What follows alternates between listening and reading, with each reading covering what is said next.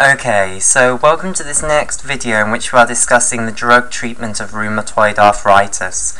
Okay, so in this video we're going to continue discussing the use of immunosuppressant drugs uh, to treat rheumatoid arthritis. Okay, so let's just have a little reminder of uh, the basis of using immunosuppressant drugs to treat rheumatoid arthritis. So remember, rheumatoid arthritis is this chronic condition where you have uh, inflammation inflammation of the synovial joints, okay? Specific, specifically the synovial membrane of the synovial joints. And it's usually the synovial joints of the distal extremities, such as the hands and the feet. Okay, now what causes this chronic inflammation? Well, the reason that you maintain this chronic inflammation is that you are launching adaptive immune responses against uh, autoantigens, proteins which are in the synovial membrane basically, which you have lost uh, immune tolerance for. So you should not initiate these adaptive immune responses against these autoantigens. And what these autoantigens uh, seem to share in common is that there's going to be citrullinated proteins. Although, as I say, we don't know what these autoantigens are, basically. We don't know which proteins are targeted in rheumatoid arthritis. Okay, uh, so what happens is you uh, launch these adaptive immune responses against these autoantigens and you produce antibody against these autoantigens, known as autoantibodies. Okay, and these autoantibodies antibodies go into the synovial membrane, bind to their uh, autoantigen and form an immune complex, and this immune complex then results in more inflammation. So it's this continual production of more immune complexes within the synovial membrane that maintains the chronic inflammation, basically. So, um, the biology of having a chronic uh, adaptive immune response like um, you have in rheumatoid arthritis is not very well understood, okay? Because usually what happens is a pathogen invades, you launch an adaptive immune response against it, and then you destroy the pathogen, it's wiped out basically, and then the adaptive immune response quietens down. Okay, but in rheumatoid arthritis, this adaptive immune response is going to go on and on and on and on for potentially years, basically.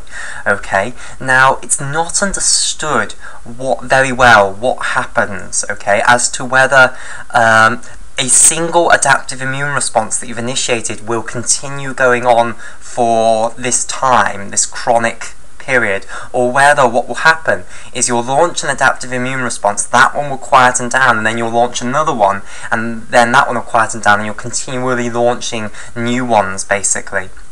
And whether uh, which of those two it is isn't very well understood. However, the immunosuppressant drugs that we've seen work uh, by blocking the activation of T cells, so it seems likely that what has to happen in order to maintain this chronic adaptive immune response is you have to get continual reactivation of the adaptive immune response, basically.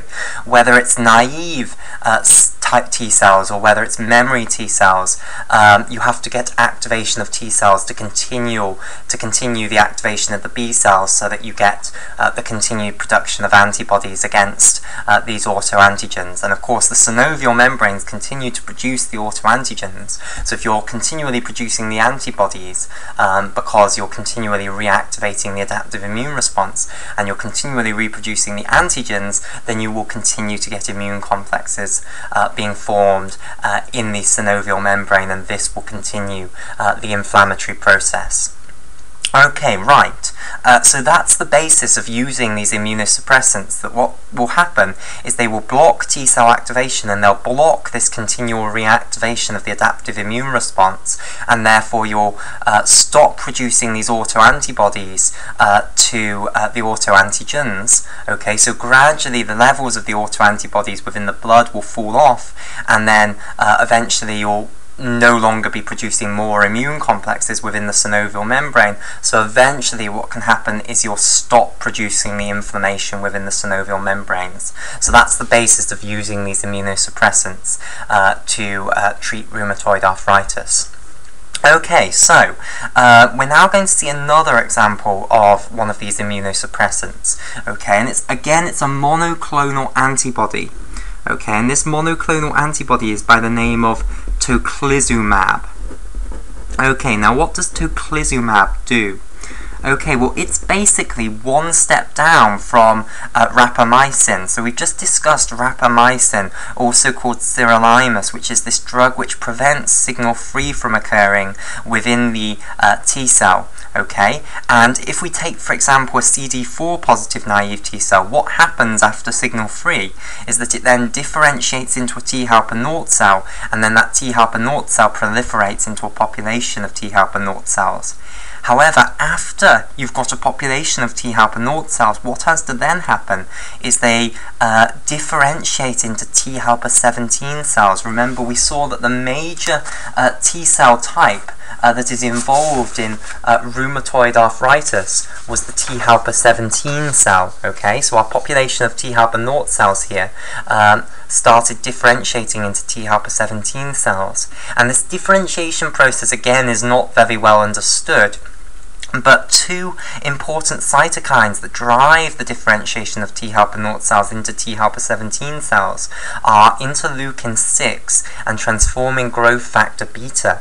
Okay, so this drug tocilizumab is going to be an monoclonal antibody against human interleukin 6. Okay, so it will bind to interleukin 6, mop up the interleukin 6, and then, um, basically, the idea is that you can stop the T helper naught cells from differentiating into T helper 17 cells. Okay, so here is our uh, monoclonal antibody to tocilizumab. Okay, and it will bind to interleukin 6 here.